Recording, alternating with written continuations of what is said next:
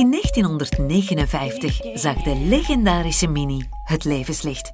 Met zijn compacte afmetingen, uitstekende wegligging en Britse charme was hij meer dan 40 jaar onweerstaanbaar. In 2001 was het tijd voor de Mini van de 21ste eeuw. Trouw aan de originele Mini Spirit, maar comfortabeler, zuiniger en veiliger. In 2006 gaf de tweede generatie New Mini het startschot voor een heus Mini Gamma, Break, Cabrio, Coupé, Roadster, SUV, noem maar op.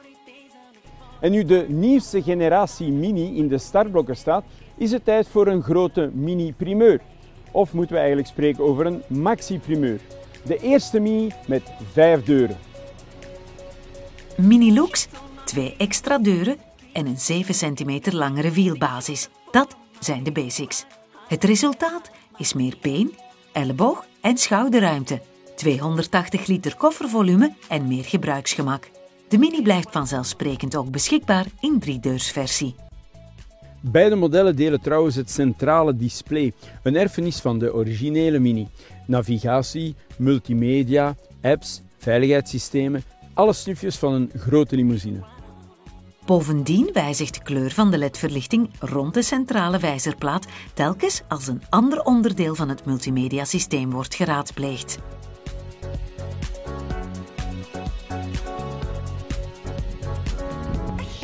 En het navigatiesysteem vestigt extra de aandacht van de bestuurder. Ik moet hier bijvoorbeeld rond het rondpunt, de leds lichten op en begeleiden mij in de goede richting. Een beetje zoals een co-piloot in de rally, maar dan een virtuele. Een nieuw head-up display zorgt dan weer voor de veiligheid. Speels blijft het altijd, noblesse oblige. Onder de motorkap is er keuze uit een hele reeks nieuwe motoren.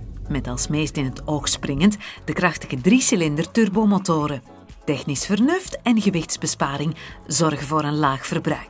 Vanaf 3,6 liter per 100 kilometer of 94 gram per kilometer CO2 met de 95 pk sterke 1.5 One Diesel. Maar de leukste uitvoeringen blijven de Cooper S-modellen, zoals deze. Met straffe motoren die je echt dat kartgevoel geven. Of je nu een driedeurs hebt of een vijfdeurs.